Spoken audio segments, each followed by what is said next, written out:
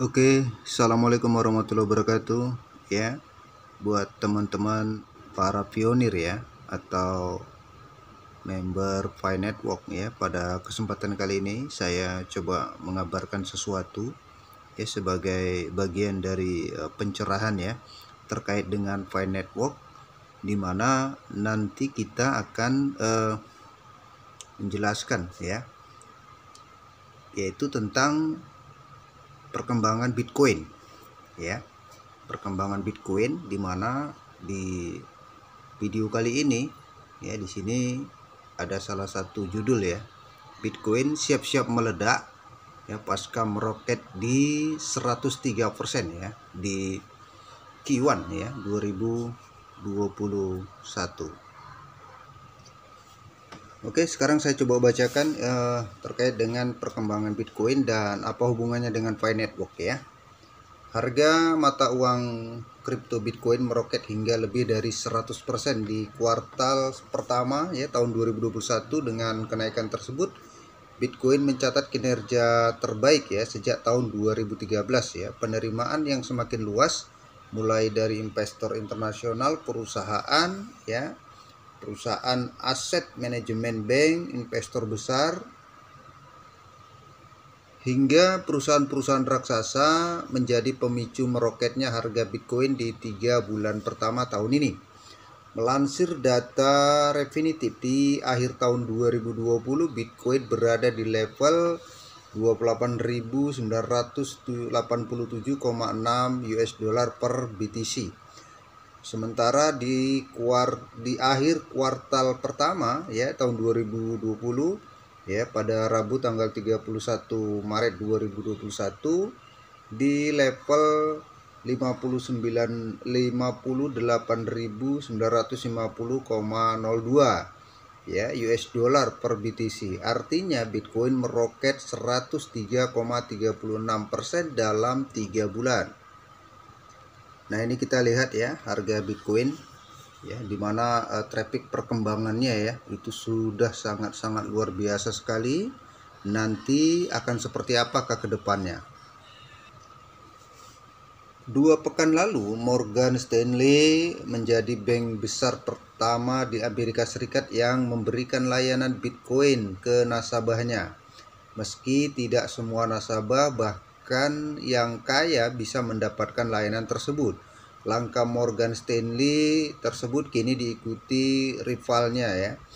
Golden Sachs, ya, kemudian Mary Rick, ya, kemudian Head of Digital Asset Goldman Sachs eh, kepada CNBC Internasional mengatakan pada kuartal kedua tahun 2021 Golden Sachs ya, menawarkan investasi Bitcoin dalam spektrum penuh yakni bisa berupa investasi fisik, produk derivatif ya ataupun sarana investasi tradisional. Kami bekerja sama dengan tim di seluruh perusahaan untuk mencari cara untuk menawarkan akses yang bijaksana dan sesuai ke ekosistem untuk klien wealth management dan kami berharap bisa ditawarkan dalam waktu dekat, ujar Barry Rick seperti dikutip dari CNBC Internasional pada Kamis 1 April ya 2021. Meski demikian, syarat agar bisa mendapat layanan data uang kripto dari Golden Sachs lebih tinggi ketimbang Morgan Stanley. Morgan Stanley baru akan memberikan akses kepada nasabah dengan toleransi resiko yang agresif yang memiliki dana yang dikelola perusahaan minimal 2 juta US dollar. Sementara Goldman Sachs menargetkan nasabah nasabah baik individu maupun keluarga dengan dana kelolaan minimal 25 juta US dollar. Kabar dari Goldman Sachs tersebut masih belum mampu membuat Bitcoin kembali meroket, meski belakangan ini sudah kembali menanjak dan berada di dekat 59.000 US dollar per BTC. Dennis Scott ya Kepala Eksekutif Bursa Kripto Coin Corner melihat data pergerakan secara historis menunjukkan melempemnya Bitcoin di bulan Maret akan diikuti oleh penguatan tajam di bulan April. Waktu dalam satu tahun ini menjadi faktor dan bulan April selalu menjadi perhatian sebab merupakan akhir tahun pajak di Inggris dan Amerika Serikat. Kata Scott, bagaimana dilansir Forbes Minggu 28 Maret 2021. Menurutnya, dalam 10 tahun terakhir rata-rata Bitcoin menguat 51% di bulan April. Jika hal tersebut terjadi lagi di tahun ini, maka harga Bitcoin akan meroket ke atas 80.000 US dollar per BTC bulan depan. Sementara itu, Bobby Lee, founder bursa kripto BTCC juga memprediksi harga Bitcoin akan meroket lagi di tahun ini. Tetapi ada prediksi horor. Lee menyebut meroketnya harga Bitcoin akan disusul terjadinya crash hingga 90 Siklus bullish datang dan pergi. Setelah mencapai puncak, maka akan terjadi penurunan secara perlahan. Dan saat itulah bubble pecah, ya. Itu atau penurunan ya bisa berlangsung selama 2 hingga 3 tahun. Lee memprediksi harga emas akan melesat di 100 US dollar per BTC di musim panas sekitar Juni sampai September dan mencapai 300.000 US dollar per BTC di akhir tahun sebelum akhirnya crash 90 per, 90%. Kemudian mengalami masa stagnan dalam waktu yang lama hingga disebut mengalami crypto winter.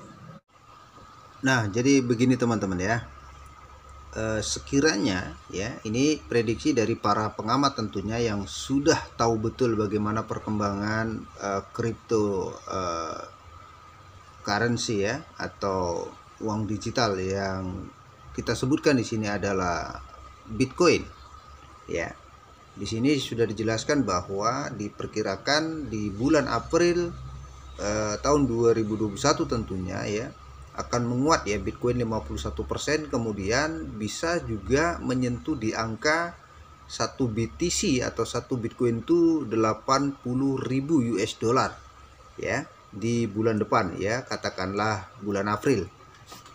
Nah, jadi tentu saja jika ada kenaikan yang gila-gilaan seperti ini, maka ini pasti nanti akan dibarengi dengan eh, kripto-kripto uh, yang lain Nah, tentu saja ya kita kan harus paham nih bahwa 80.000 US dollar per satu BTC itu kira-kira berapa kalau dirupiahkan.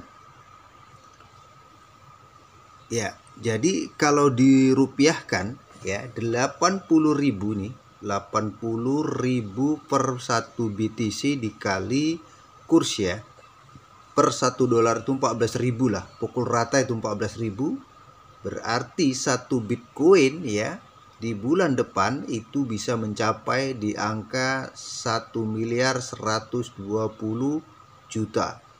Ya. Tentu saja ya, kalau misalnya Anda punya satu Bitcoin saja hari ini.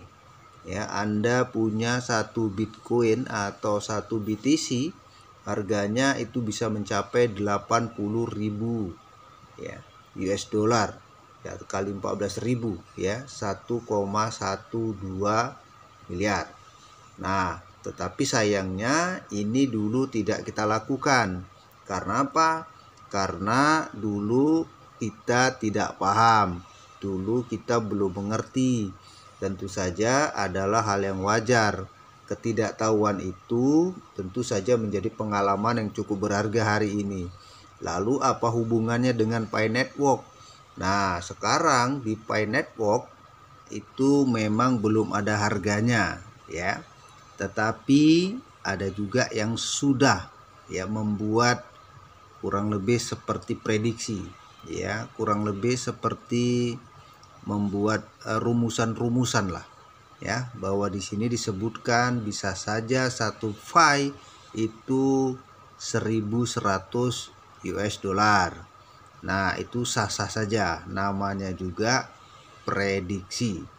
Nah, walaupun hari ini itu belum ada harga yang pasti karena belum mainnet ya, karena belum landing, karena belum listening. Nah, oleh karenanya kalian masih punya kesempatan untuk terus menambang bagi teman-teman yang sudah menjadi pionir di Pi Network. Nah, bagi yang belum silahkan kalian download aplikasinya, lihat link yang ada di deskripsi video ini. Kalian bisa download kemudian ya silakan mendaftar mumpung masih gratis karena diperkirakan sudah sudah ada semacam info atau berita yang mengatakan bahwa gambaran ya atau perkiraan di bulan Desember akhir tahun 2021 maka Fine Network akan masuk ke pasar ya atau mainnet. Oleh karenanya ketika sudah masuk ke pasar ya atau misalnya masuk pasar Binance misalnya. Nah, di situlah harganya sudah ada dan kalian tinggal menjual ya. Kalian tinggal eh, lakukan trading kripto juga bisa. Oleh karenanya jangan tunda-tunda lagi. Jangan sampai seperti pengalaman di Bitcoin tahun 2009, tahun 2010 ketika itu harganya masih sangat murah tetapi kita mengabaikan, tetapi kita tidak respon. Singkat cerita, ya bagi teman-teman yang dulu ya masih menambang dengan harga yang murah, ya yang konsisten ya kalau hari ini punya 2, 3, 4 atau mungkin punya 100 BTC maka teman-teman yang konsisten dulu tetap bermain uh, di Bitcoin ah, itu pasti sudah menikmati ya pundi-pundi kebebasan finansial. Oleh karenanya tentu ya saya mengharapkan supaya Anda tidak menyia-nyiakan waktu yang masih ada. Karena sebelum masuk ke pasar ini masih gratis kita bisa menambang. Sebentar lagi kita mungkin tidak bisa lagi menambang gratis oleh karenanya manfaatkan dengan sebaik-baiknya. Demikian yang bisa saya sampaikan. Assalamualaikum warahmatullahi wabarakatuh